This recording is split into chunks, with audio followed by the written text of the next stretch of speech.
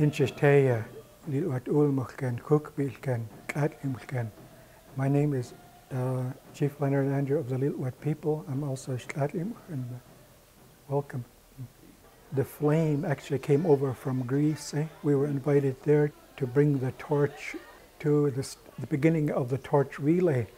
And at that time, we each had a turn in holding the flame as we went across on a canoe eh? to bring it to the, the people that are involved in running the torch relay.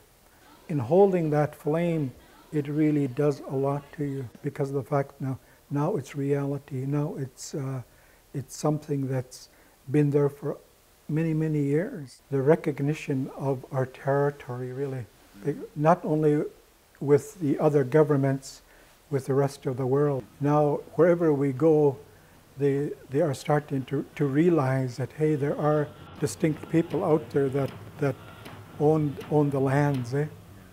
other than the existing governments and, and the people that live in that territory. And therefore, they're, they're going to be the official hosts of the, the upcoming Olympics. Of course, my, my dad, being a, a former chief, was one of my mentors. Eh? Therefore, a lot of the other chiefs also were my mentors in regards to what the needs of the community were. And that, that was very inspiring in regards to, to eventually running for chief.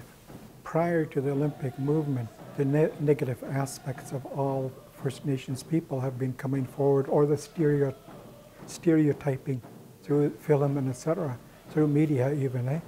And I think now, of course, uh, it is our opportunity to, to say to the world exactly who we are.